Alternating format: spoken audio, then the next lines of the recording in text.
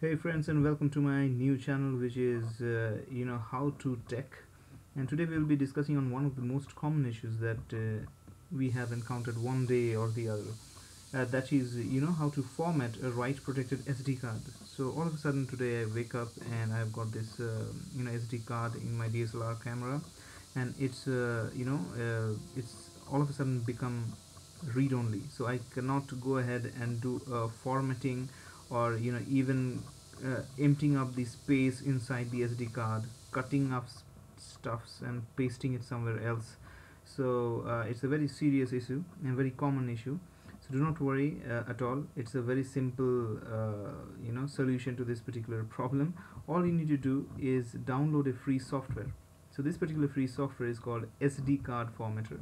And no I'm not promoting this SD card formatter in any circumstances because I do not own the website or I am no ways uh, associated with SD card formatter. Why am I uh, you know giving you this particular link is uh, you can go to this particular link and obviously download the software. Uh, why am I giving you this? Because I tried it out myself and I found this particular method to be the easiest one to solve this particular problem that is how to format a write protected SD card. Now most of you might be thinking why do we need to go ahead and format? Uh, that's because you know it might be your SD card has been already infected by a virus or you know a malware or something like that.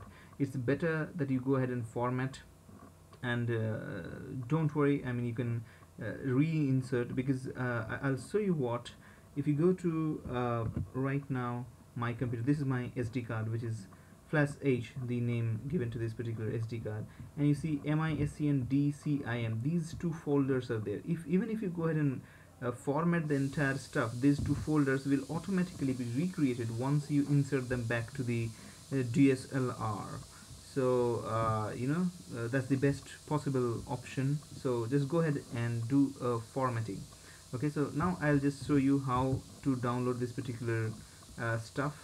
So uh, uh, let me just open up Google Chrome for you where I'll tap in the yep it's already there.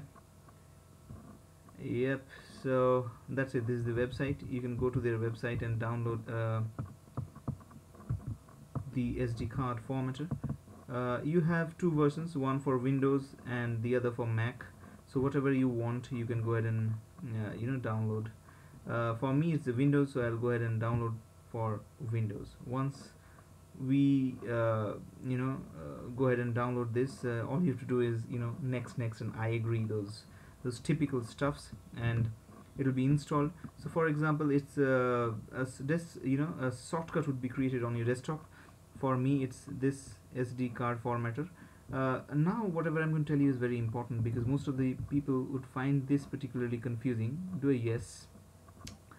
Okay now I already have the HD card inserted in my computer which is why I am able to see this drop down uh, saying H drive as flash.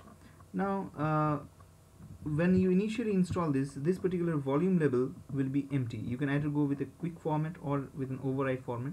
In any ways so let me show you what is the name of my SD card at present. It's flash right? So let's say I would name this to experiment. So experiment. Okay?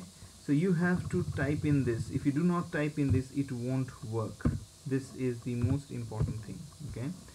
Okay so I have uh, named it as experiment and I'll just go ahead and format formatting with erase all the data on the card do you want to continue? Yes. So give a yes.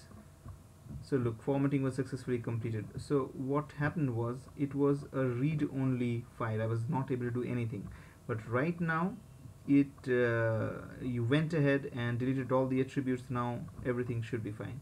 So look the name has also changed to experiment. So if I go ahead and check the label label is nothing but the name that would come up with in your H drive in your Windows or your Mac. So it has changed to experiment. So so it's very easy friends. You can go ahead. Now look everything is empty. It has completely become writable. So I hope that you enjoyed this particular video. Uh, give a big thumbs up uh, a like and if you uh, it, if it really helped you please I request you to go ahead and share this video I'll be coming up with other ways as well to format a SD card. So till then, stay tuned. Bye bye.